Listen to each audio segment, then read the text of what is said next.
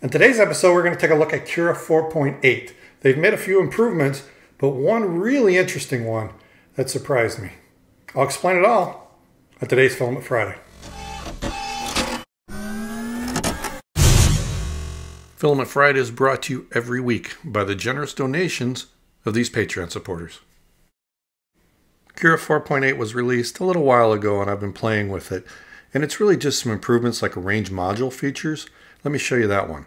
So if I multiply this Chep cube by 14, it'll arrange it like this. But look at how close they are. They're now very, very close. You can really pack them in. In 4.7.1, the same operation. Look at the gaps.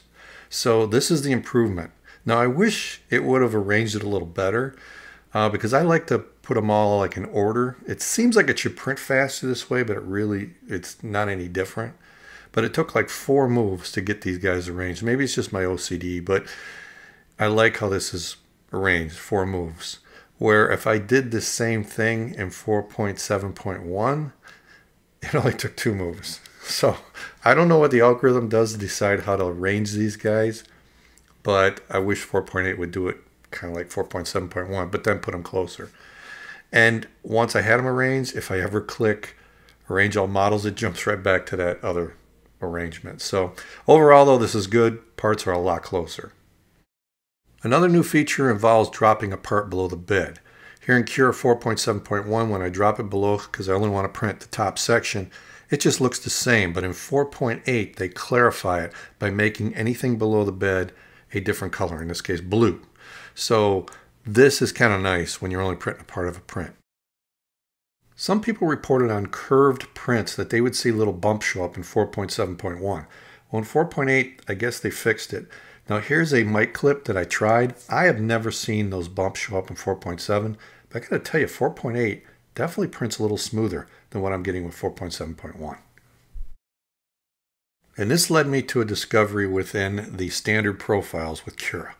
Now I've made my own profiles. I did it again here and I was testing them, but I tested them against their profiles. And I was shocked to find that their profiles weren't much different than mine.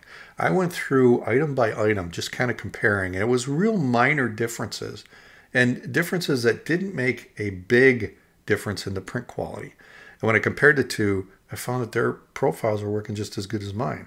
The only difference was as I enable acceleration and jerk control, they don't. But let me show you the difference. Mine is on the left, theirs is on the right. And the print quality I'm getting out of their stock profiles are just as good as what I'm getting out of mine. So there's almost no reason for me to keep creating profiles for Cura when their profiles are, are working this good. The only time I saw a difference is around the Z. There's a gap. But overall, their profiles are working fantastic. When I started making my profiles, they weren't even using magic numbers in Cura. Now they are, and they've evolved to the point where I am. And we're both getting good prints with our profiles. Now, I'm not saying they copied me. That's not what I'm implying at all. It's just that it's evolved to the point where their stock profiles are getting just as good a prints as I am.